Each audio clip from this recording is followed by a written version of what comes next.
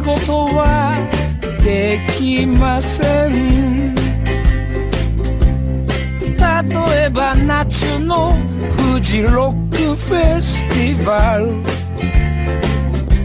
仕事を持ってちゃ見に行けません。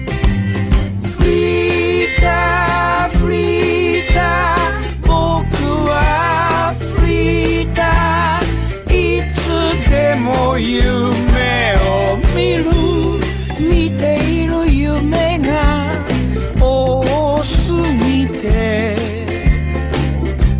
就職するほど暇じゃない。フリーターフリーター僕はフリーターいつでも夢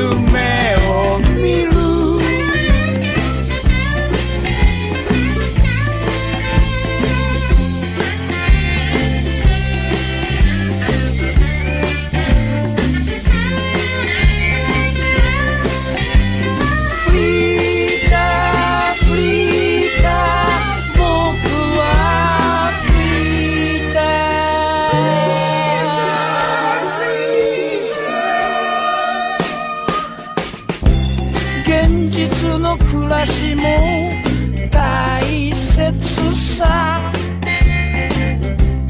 死んだら夢も見れません。例えば彼女とエクスタシー。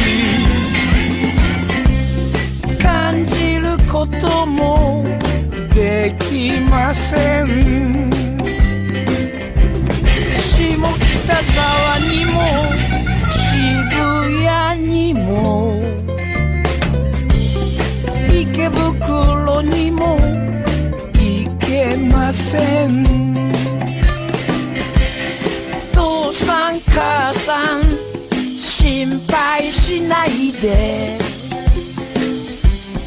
今日もバイトに出かけます。